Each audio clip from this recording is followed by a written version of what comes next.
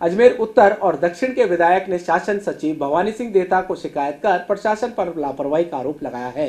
विधायक ने आरोप लगाया कि प्रशासन की ऐसी करनी से अजमेर शहर में संक्रमण बढ़ रहा है। यही कारण है कि 24 घंटे के अंदर उन्यासी मरीजों का सामने आकर आंकड़ा 104 तक पहुँच गया। आश्रय स्थलों पर पुलिस की पुख्ता व्यवस्था नहीं होने से वहाँ से भागने वाले लोगों की संख्या में भी इजाफा हो रहा है जिससे जनता भयभीत है। जी मैम बताइए आज यहाँ पहुँचे हैं तो किस तरीके की हैं देखिए जो प्रशासन के नीचे जो मॉनिटरिंग नहीं हो पा रही थी, नीचे के अधिकारियों का फीडबैक नहीं ले पा रहे थे और उसके कारण से समस्याओं को दूर करने में बहुत प्रॉब्लम हो रही थी।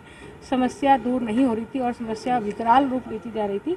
उसको लेकर के आज भवानी सिंह जी, देथा जी ने हमें आमंत्रित किया था और कैसे समस्याओं का समाधान हो सके उसको लेकर के उन्होंने हमसे बातचीत की है। जिन लोगों को क्वारंटाइन सेंटर में रखा गया, जो क्वारंटाइन सेंटर बनाए गए हैं, उनके बारे में भी हमने कहा कि वो क्वारंटाइन सेंटर जो है, शहर के दूर रिक्त एरिया में, जहाँ आसपास कोई आबादी ना हो, वहाँ बनाए जाएँ। और साथ ही जो कर्फ्यू क्षेत्र है, उस कर्फ्यू क्षेत्र में भी खाद्य सामग्री डोर टू डोर पहुँचे और आवश्यकता पड़ने पर व्यक्ति उस खाद्य सामग्री को खरीद करके और अपना गुजारा बसर कर सके। इसी के अतिरिक्त, जिन लोगों के पास खाद्य सामग्री नहीं पहुँची है उन लोगों के यदि कॉल्स आते हैं तो उसको वेरीफाई करने के बाद आप खाद्य सामग्री पहुँचा दें कि वास्तव में इनको खाद्य सामग्री की आवश्यकता है।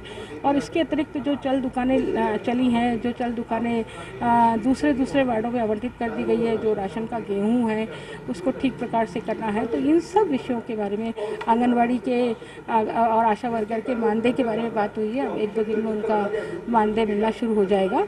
तो इस तरह से ये सारी चीज़ों को पुख्ता करने के लिए आज भवानी सिंह जी देथा जी के नेतृत्व में आज बैठक हुई है, जिसमें एसपी साहब भी मौजूद थे। और उन्होंने ये आश्वासन दिया है कि आने वाले समय में अब किसी प्रकार की कोई परेशानी नहीं आएगी और सारी चीज़ें सुगमता से उसी प्रकार से चलती रहेगी। देखिए, जिस तरह से डॉक्टर ने कहा है कि उसके साथ दुर्व्यवहार हुआ उन्होंने व्हाट्सअप किया है, यदि इस प्रकार की कोई घटना हुई है तो ये बहुत ही निंदनीय है, ये बहुत ही शर्मनाक है। हम बार बार कह रहे हैं कि कोरोना के योद्धाओं का सम्मान होना चाहिए। वो जिस तरह दिन, रात मेहनत करके जुटे हैं, अपने परिवार को छोड़ करके जुटे हैं, और कोई प्रशासनिक अधिकारी इस तरह से बदतमीजी करता है तो ये बर्दाश्त नहीं किया जा सकता। पिछले कोरोना की महामारी जब से शुरू हुई है तब से जनता की जो समस्याएँ हैं, उस संदर्भ में प्रशासन के साथ चर्चा हुई। कई बार कई लोगों को फ़ोन करते हैं, रिप्लाई नहीं आता। जैसे कल रात को हिंदू, इस मुस्लिम मोची मोहल्ले से व्यक्ति को लाए, रात भर तक उसको अस्पताल में बैठा रखा। उसको पानी तक भी नहीं मिला। जब सवेरे मेरे पास सूचना आई, तब मैंने अधिकारियों को बताया। तब जाकर के वहाँ पे व्यवस्था हुई। इस तरह की कई बातें हैं, जैसे पड़ाव है। पड़ाव में व्यापारी बार बार कह रहे हैं कि 24-25 दिन से कर्फ्यू है। लेकिन उस कर्फ्यू में हमको सामान तो निकालने दो। सामान तक उनको निकालने, आज सहमति हो गई कि उनको सामान सामान निकालने के एसपी साहब अनुमति देंगे। और साथ में जैसे कर्फ्यू के एरिया आपने बढ़ाया, उन एरियाज़ में प्रशासन की जो मशीनरी है, न तो पिछले तीन दिन से धोबी मोहल्ला, इमली मोहल्ला, सरागी मोहल्ला दूध नहीं पहुँचा है। और अब आपने बढ़ा बढ़ा दिया तो आपकी प्रशासनिक व्यवस्थाएँ तो है नहीं। तो आप दूध और सबसे नहीं पहुँचा पाओगे तो जनता में तराई तराई मचेगी। इसलिए मैंने उनको कहा कि आप सब जगह, जहाँ भी सामग्री आपकी जाए, उसके साथ आप पार्षद को साथ रखो। क्यों? पार्षद जानता है कि घर घर कौन सा है, उससे दूध पहुँचे, सामान पहुँचे, आपके नियम आप पालन कराओ।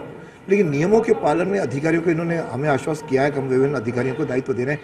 हमने कहा, इन सारे अधिकारियों के मोबाइल नंबर अखबार में भी दो, हमें भी भेजो, ताकि सामने वाला गिरे मैं कल से बारह बार फ़ोन कर रहा हूँ, मैसेज कर रहा हूँ, कोई सुनवाई नहीं हो रही। तो आज कर्फ्यू ग्रस्त एरिया चूँकि मेरे एरिया में, मैक्सिमम एरिया मेरा है। उसमें लोगों की समस्याएँ हैं। जिन समस्याओं को कोई समाधान हो नहीं रहा है, उस समस्याओं के समाधान के लिए हमने तीन चार बातें, एक जैसे पड़ाव से सामग्री निकालने वाली बात हुई। साथ में हर जगह ये इनके लोग जो तय हों उसी एरिया का ही राशन सामग्री वाला होना चाहिए। इन्होंने लगा दिया पर्वतपुरा वाला खारी कोई पे तो तो खारी कोई आएगा नहीं और आएगा तो कुछ करेगा नहीं, जानता नहीं किसी को। तो एक तो स्थानीय व्यक्ति लगे। स्थानीय व्यक्ति के साथ में उसके साथ पार्षद का इन्वॉल्वमेंट हो, ताकि जनप्रतिनिधि को संवरे इस तरह बुला के हमारी समस्याएँ हैं। उन जनता की समस्याओं को सुने, जनता हमारे घर पहुँचती है और हमारे इनके साथ कम्युनिकेशन नहीं होता। तो जब से देथा साहब आए, तब से तो कुछ संवाद में इम्प्रूवमेंट हुआ है। तो हमने ये कहा कि आप संवाद करो, टेलीफोन उठाओ और समस्याओं का एग्जीक्यूशन करो। बिना एग्जीक्यूशन के कोई फिर आपने स्कूल लिए। स्कूल में भी आपको जो जची आपने ले लिए, शहर के बस्तियों के बीच के ले लिए और दूर दूर के स्कूल अभी खाली पड़े। तो इन्होंने कहा, कायल विश्राम स्थल में साढ़े चार सौ लोगों की हमने व्यवस्था कर दी है।